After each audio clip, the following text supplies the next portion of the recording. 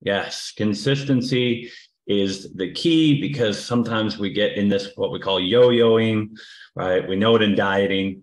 Yo-yo is shit, I've been eating bad for six months. I need to catch up. I'm behind. I feel bad. So I'm going to do everything, right? I'm going to go to the gym for three hours. I'm going to eat ice cubes for a week. And we go too far in one direction, right? And it's not sustainable.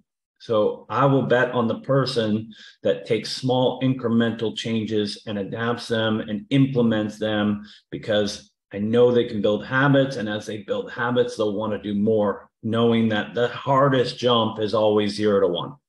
One to two is not a bad jump, but zero to one is tough. When you make it zero to 100, it's even harder. So, what are the things that are non negotiable that you can instill in your life right now that are sustainable, that will move you forward, and that you can build habits around?